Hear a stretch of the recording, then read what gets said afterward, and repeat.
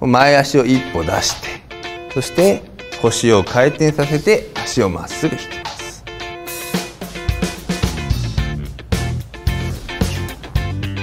逆をやります。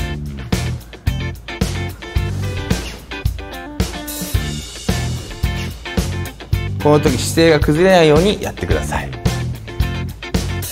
よく転換する時に一歩入った瞬間にこう体が前かがみになる方がいらっしゃいます。